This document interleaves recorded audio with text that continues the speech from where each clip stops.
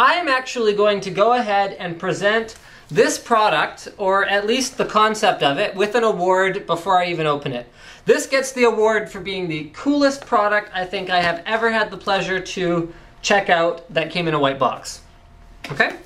Actually, no, it's actually really, looks really cool. Basically what this is, this is the WOW keys. It is made for the iPod or iPhone. You use it in order to be a keyboard for, well, yeah, okay, your PC, your Mac. It's a very expensive PC or Mac keyboard, but you can use it as a keyboard for your iPod or your iPhone. But wait, there's more. Okay, let's go on to the back. Here you can see the basic layout of the keyboard. It's a very, very clean layout. No number pad, no nothing like that, okay?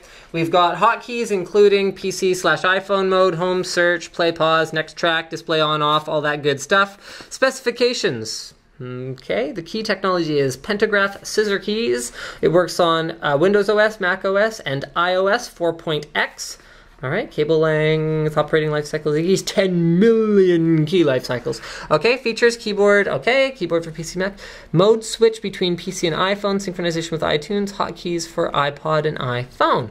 Okay, so this is all cool, this is all cool. Uh, let's open it up, and then I'm gonna explain why this is so cool. This is the ultimate media PC keyboard ultimate. I'm going to go as far as to say that. Yes, I did.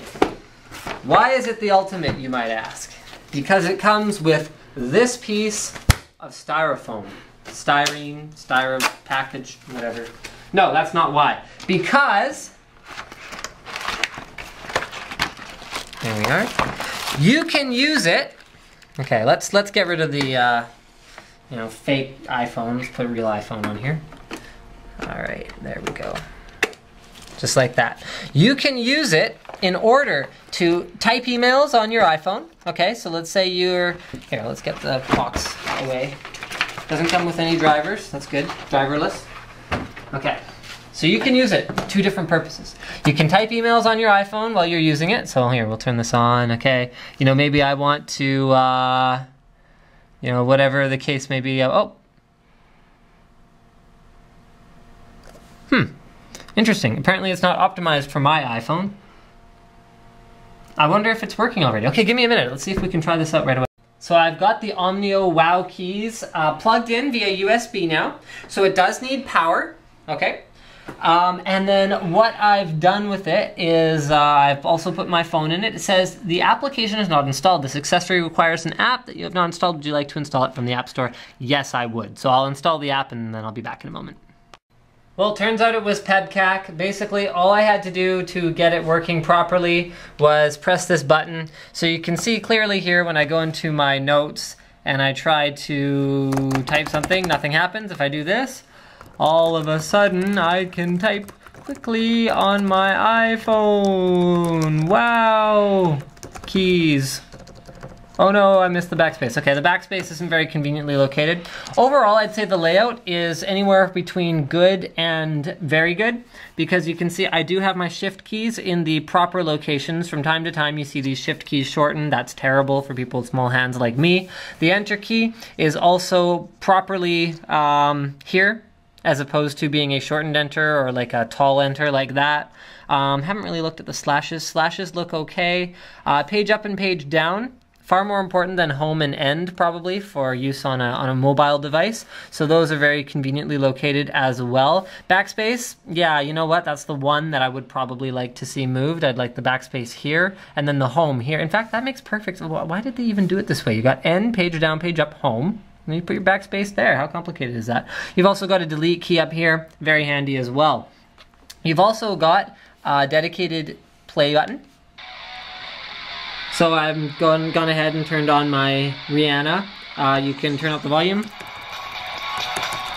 turn down the volume, turn off the volume, turn the volume back on. I don't know what this button, oh okay, you can turn your virtual keyboard on or off, like if you actually wanted to use this then you could. Uh, you can lock it, unlock it, cool. Switch between uh, iPhone and uh, PC mode. I don't know what this does. Oh, okay. That apparently locks it as well. Cool. Okay, so we're gonna go ahead and uh, turn that off. Oh, okay. This takes us back to the, uh, so this is our home button. Okay, so then uh, from there we can, you know, navigate back into our notes where we are making notes, making more notes. It's um, actually a very comfortable, okay, I'm making a lot of mistakes, but it's my fault, not the uh, keyboard's fault. Oh, I don't like that backspace key. So it's a pretty comfortable keyboard. Uh, the overall quality of the unit feels quite good. You can see there's a little bit of flex to the unit, but that's partly due to the plastic construction, which you're not gonna get something as lightweight as this without using plastic construction, and it's not gonna be comfortable to sit on the couch with it on your lap if it's not made of plastic. So uh, here's what it's really for, from my perspective, okay. You do need third-party apps to make it do this, so we're gonna go ahead, we're gonna use the uh, uh, the WoW keys in order to navigate here. I'm just going to go into the App Store where I already loaded up the app that is really to me the killer app. So for two bucks, you already spent $100 on the keyboard. What's another two bucks? You can get Mobile Mouse Pro. What that does is it turns your iPhone into a trackpad. You install the desktop application on your PC, whether it's a Mac or a PC, and then all of a sudden you sit with this on your lap on the couch. You control your media center by using this as a touchpad, and you got a keyboard. Like, wow, awesome solution, right?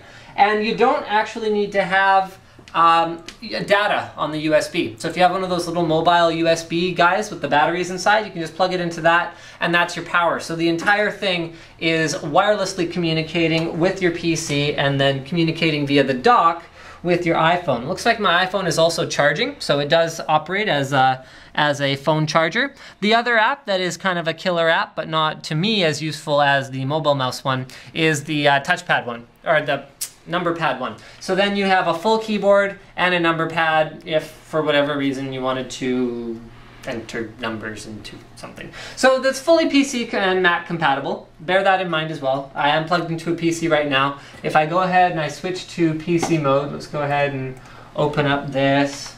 In theory it should work. In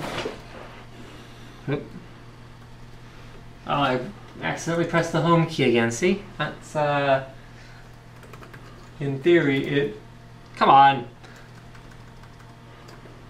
In theory, it works. Okay, so there we go. It does work, just my PEBKAC. And I think that's pretty much all I wanted to say about the Omnio WoW Keys. It's a really cool little device. Thank you for checking this out on Linus Tech Tips. Don't forget to subscribe for more unboxings, reviews, and other computer videos.